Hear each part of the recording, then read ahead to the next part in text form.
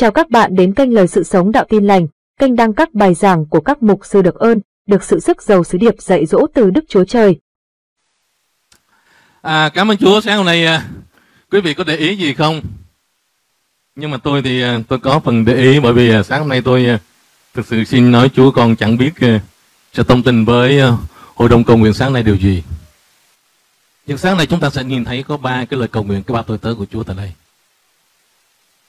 Tôi tớ Chúa thứ nhất, một sư Hồ Xuân Vinh, phó tổng quản nhiệm thứ nhất, nói rằng là xin Chúa ngài chọn Hội Thánh Phong Đồng ngày Việt Nam của chúng ta là ngọn cờ đầu để đem đến một cần thân hình của Chúa trên dân tộc Việt Nam của chúng ta. Amen. Amen nè.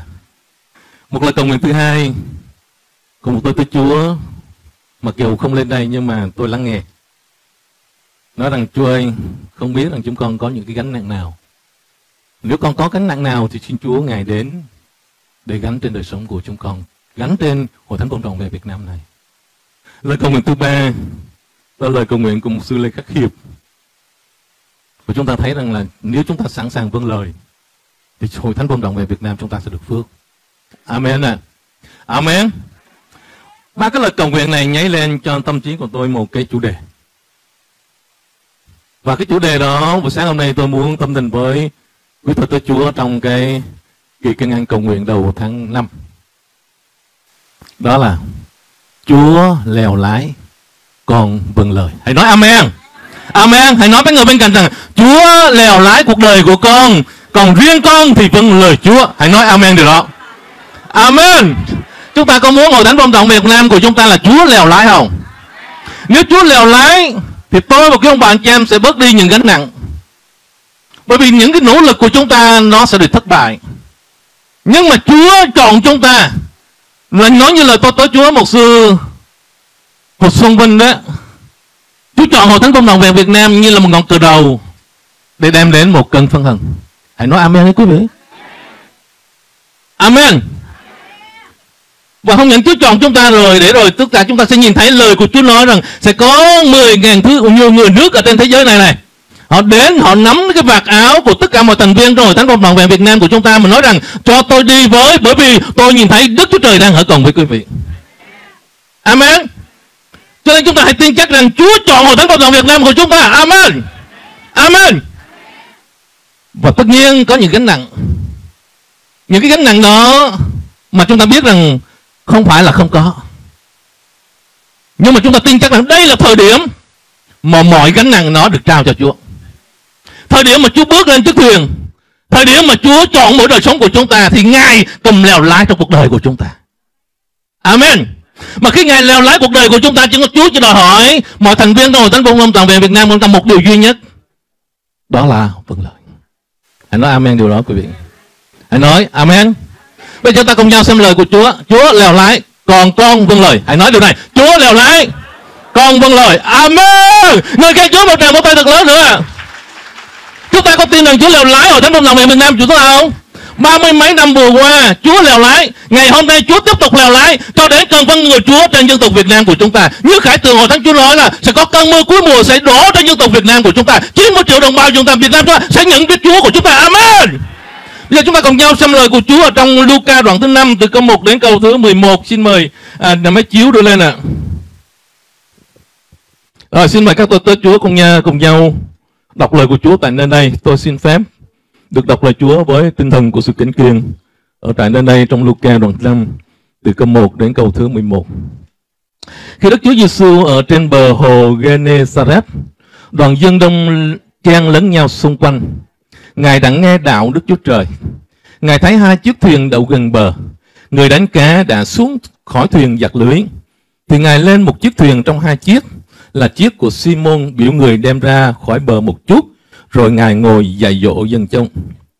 Khi Ngài phán xong thì biểu Simon rằng hãy trèo ra ngoài sâu thả lưới mà đánh cá. Simon thưa rằng, thưa thầy, chúng tôi đã làm suốt đêm, không bắt được chi hết. Dầu vậy tôi cũng theo lời thầy mà thả lưới.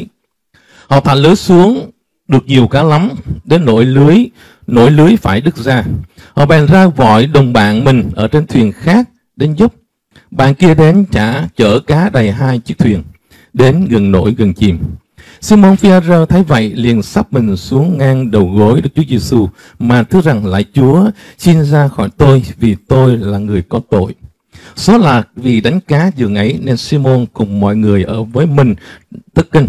Gia cơ và Giăng con Zebede là những kẻ đồng bạn với Simon cũng đồng một thầy ấy. Đức Chúa Giêsu phán với Simon rằng đừng sợ chi, từ nay trở đi ngươi sẽ trở nên tay đánh lưới người. Đoạn họ đem thuyền vào bờ, bỏ hết thảy mà theo Ngài. Một lần nữa, chúng ta cùng nhau hiệp chung với tôi trong sự cầu nguyện. Xin mời các tôi tới Chúa cầu nguyện. Chúa, con cảm ơn Chúa vì Ngài đang hiện diện tại đây với chúng con. Điều mà chúng con khao khát, đó là Chúa muốn bày tỏ điều gì trước hết qua đời sống của chính mình con. Để lời đó nó không trở nên văn tự, nhưng mà trở nên quyền năng vì thánh linh của Chúa. Thánh linh ơi, con tân trọng mời Ngài đến.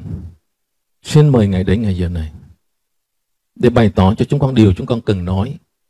Chúng con nói không phải theo cách riêng của chúng con nhưng mà nói theo cách mà Thánh Linh muốn chúng con nói.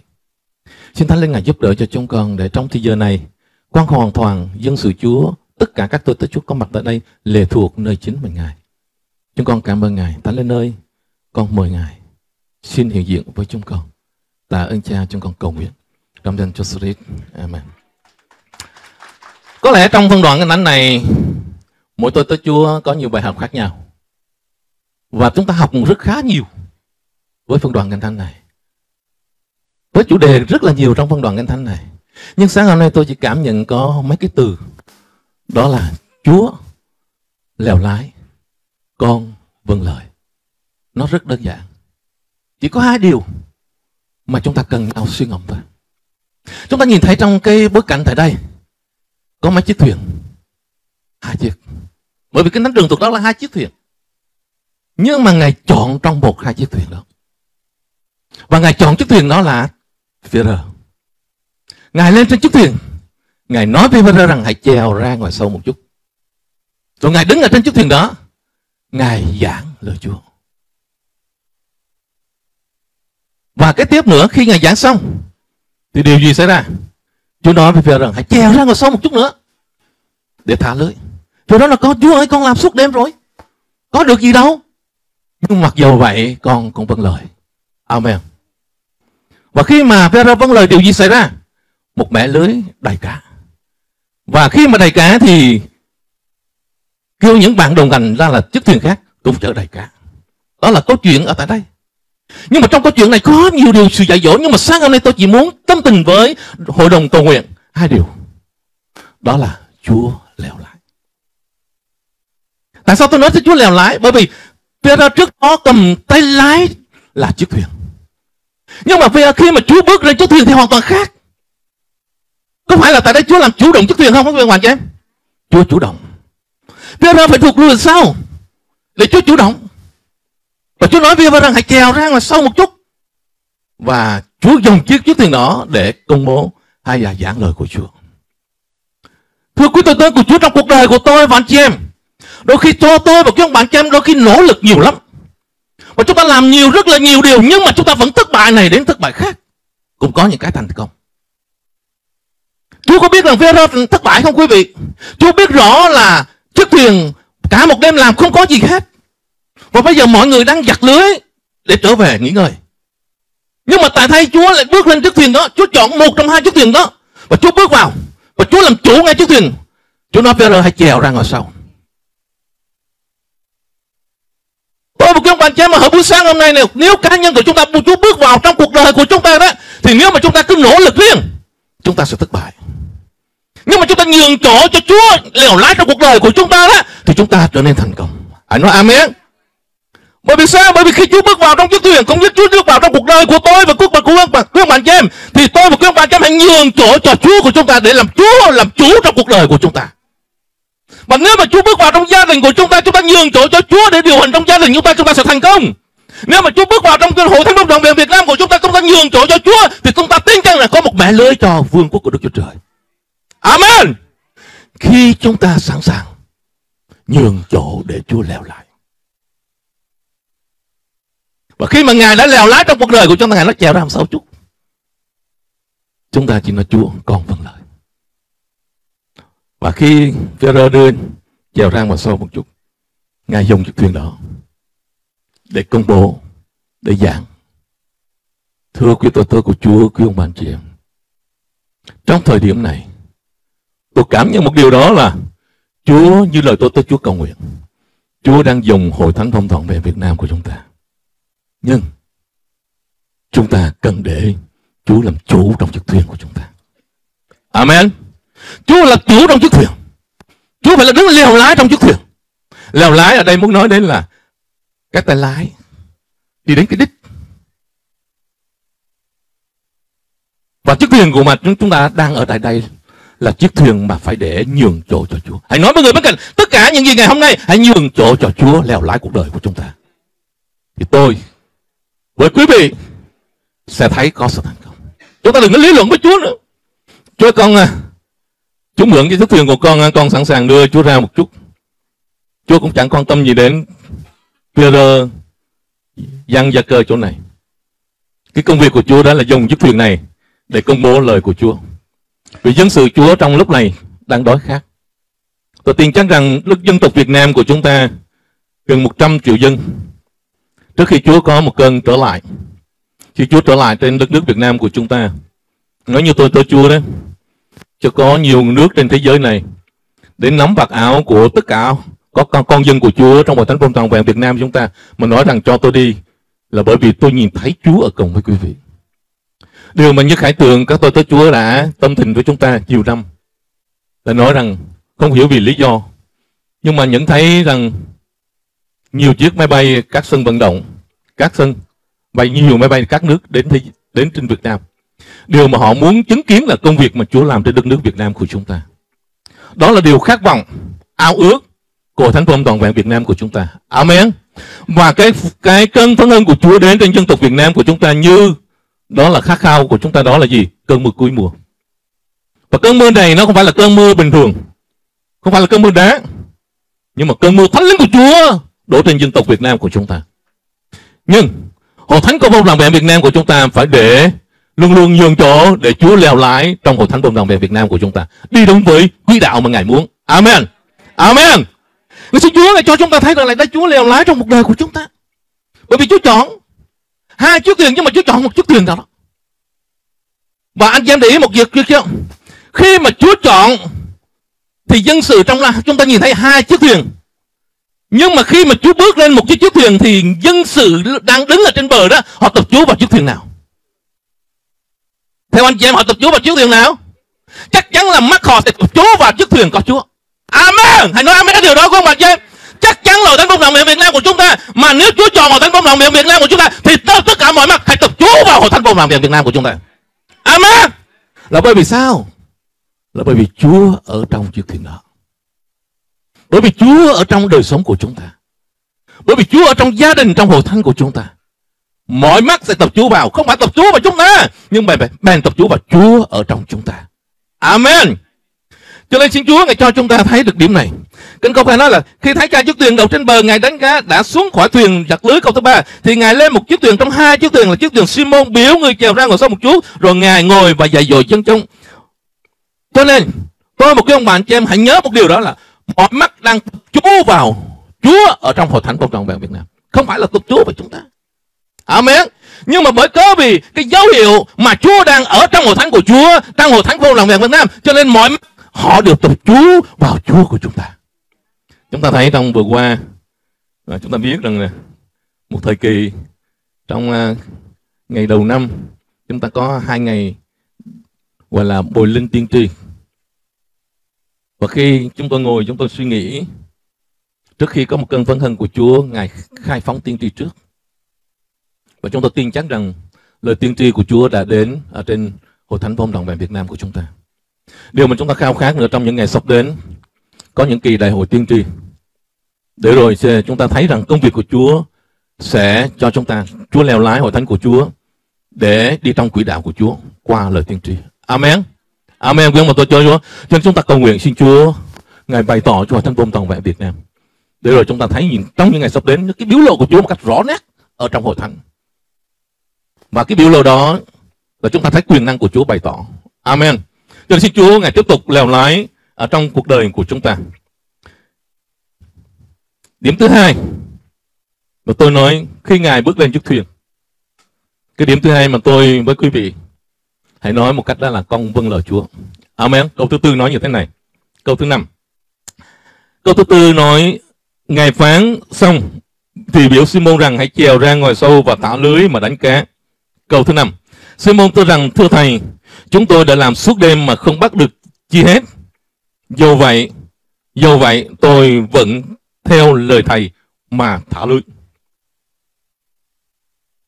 Điểm thứ hai mà tôi muốn thông tin đó, khi Chúa bước trên chiếc thuyền, hay Chúa bước trên cuộc đời của chúng ta, Chúa bước ở trên bước vào ở trong lèo lái trong hội thánh của chúng ta, điều quan trọng chúng ta cần phải nói Chúa là vâng con theo lời Ngài. Amen. Chúng ta suy nghĩ một chút xíu này.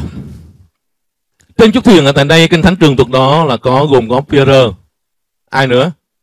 Dân ai nữa? Cha cơ. Và không biết là bao nhiêu, nhưng mà con ba cái tên này có ghi cho chúng ta đặt câu hỏi. Trong đó Chúa nói là Phêrô hãy treo ra ngồi sâu một chút để thả lưới. Phêrô chỉ có một mình Phêrô nói là mặc dù vậy con con đã làm suốt đêm rồi, nhưng mà mặc dù vậy con vẫn vâng lời thầy để thả lưới. Nhưng mà nếu trường hợp trong lúc này gia cơ và dân không muốn thì sao? Đi ngược lại với cái điều mà Pierre nói thì sao?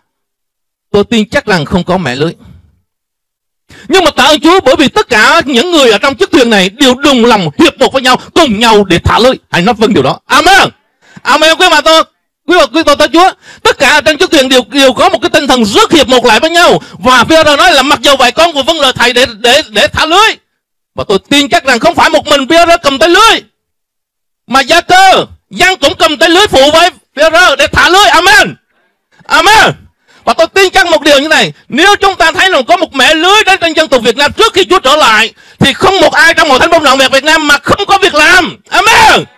Amen, quý ông bà chị em. Bởi vì tất cả chúng ta đều ở trên chiếc thuyền. Tất cả chúng ta đều ở trên chiếc thuyền. Mà chiếc thuyền đó là hội thánh phong âm toàn vẹn Việt Nam của chúng ta. Hãy nói Amen. Mà nếu chúng ta ở trên chiếc thuyền thì không ai trong chúng ta mà không có việc làm. Amen không quý vị? Có thể trong những ngày sắp đến, tôi tới Chúa Hội Thánh thường được ban ngành tổng hội triển khai về công tác truyền giáo. Là có những cái kế hoạch là các thành phố lớn, các tỉnh mà chưa có Hội Thánh Công đồng về Việt Nam, nhiều tôi tới Chúa đã đăng ký và bước vào ở các cái tỉnh đó để tiếp tục cho công tác truyền giáo mở mang Hội Thánh. Vậy thì còn những người còn lại ở đâu? Tôi tin chắc rằng để chúng ta có một mẻ lưới trên dân tộc Việt Nam của chúng ta thì chúng ta phải là những con người còn lại sẽ là con người cầu nguyện. Amen quý vị. Những con người còn lại sẽ là người gì? Dân hiến. Amen.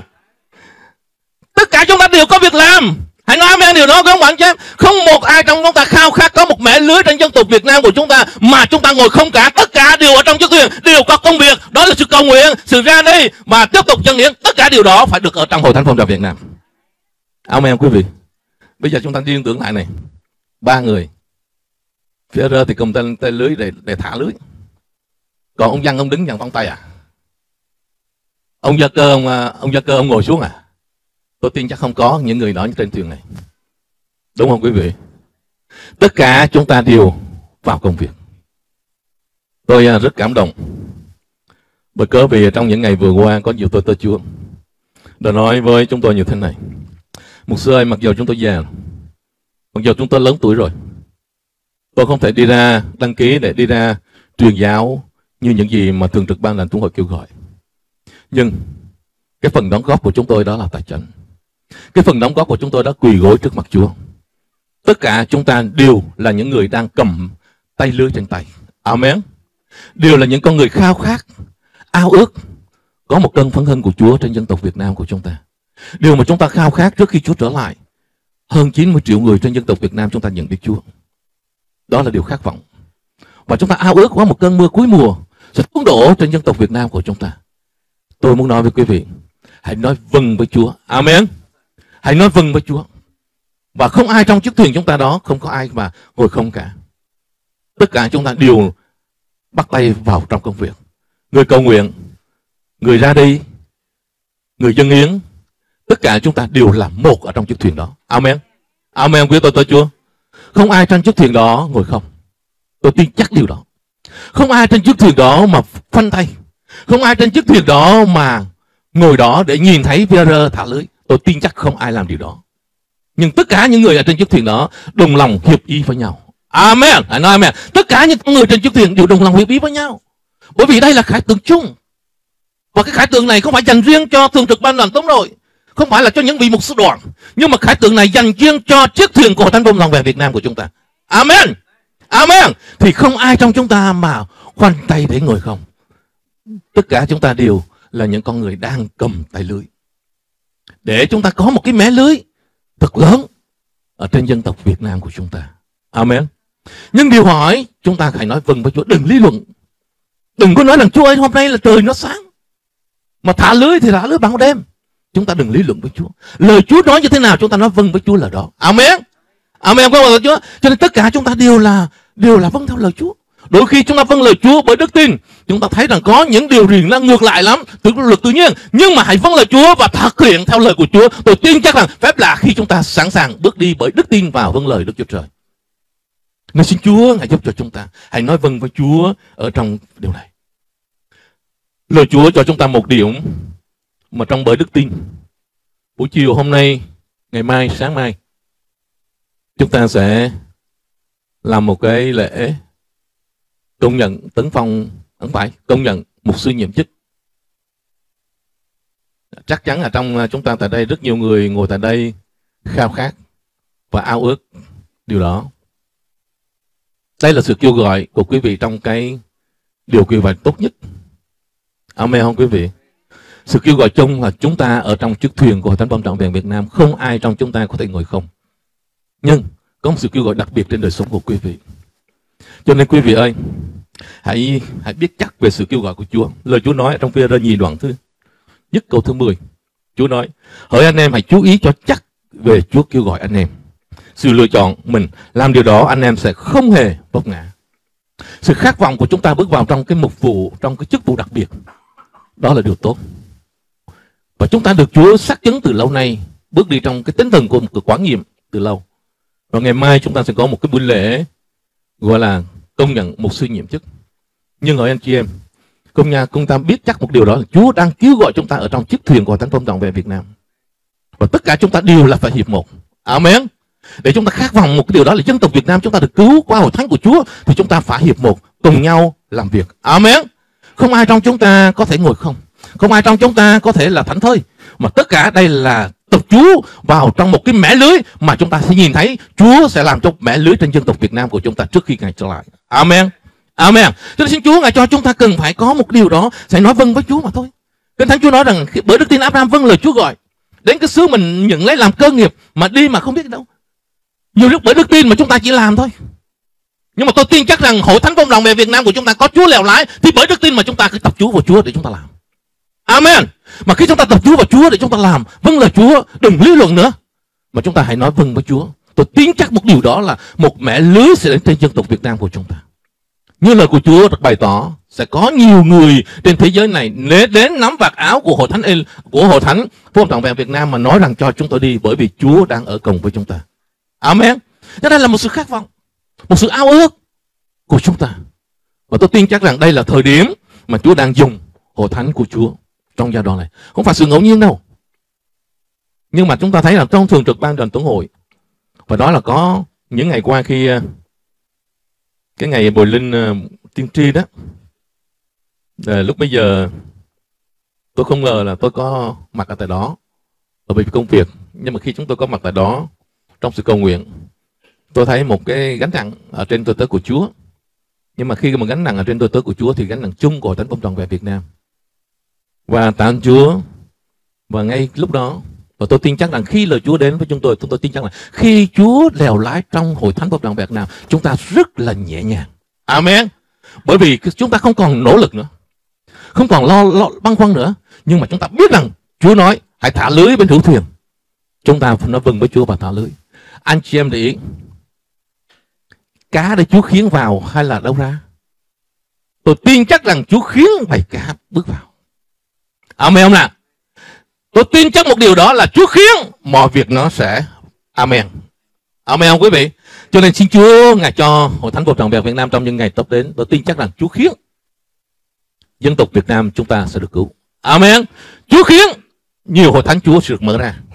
Chúa khiến thì chắc chắn hội thánh Phục trọn vẹn Việt Nam chúng ta không có nói rằng là không có tiền, mà tiền nó sẽ đến từ Chúa ban cho. Amen.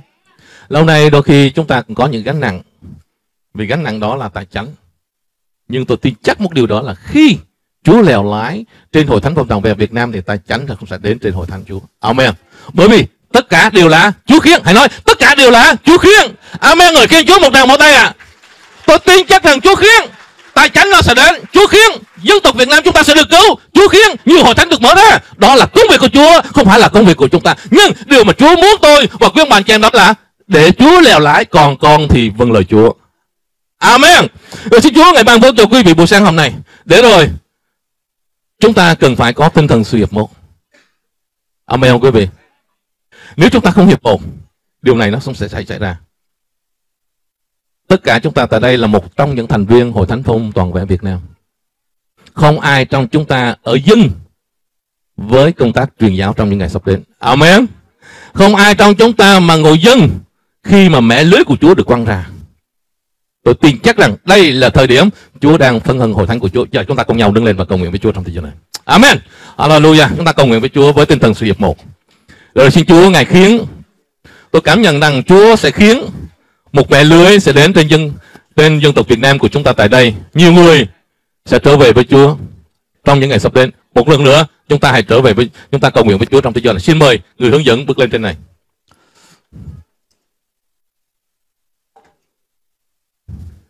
Mời ban hát bước lên trên này, xin mời người hướng dẫn. Mỗi chúng ta đến với Chúa trong sự cầu nguyện. Và cầu nguyện cho Chúa trong thời giờ này để xin Chúa ngài cho chúng ta với tinh thần sự hiệp một. Nếu trong lúc này quý ông bà chị em nào cảm thấy có một điều gì ngăn trở mà thiếu sự hiệp nhất của chúng ta tại đây thì chúng ta hãy cầu nguyện với Chúa. Để rồi xin Chúa ngài cho chúng ta hiệp nhất ở trên một chiếc thuyền của Thánh Công toàn vẹn Việt Nam của chúng ta tại đây. Một lần nữa chúng ta đến với Chúa trong sự cầu nguyện. Quý thính giả xem nhớ đăng ký kênh, nhấn rung chuông và chia sẻ video được lan rộng trên mạng cộng đồng. Xin Thánh Linh động chạm anh chị em được biến đổi mỗi ngày càng giống Chúa hơn. Hẹn anh chị em video tiếp theo. Chúa yêu hết thảy anh chị em.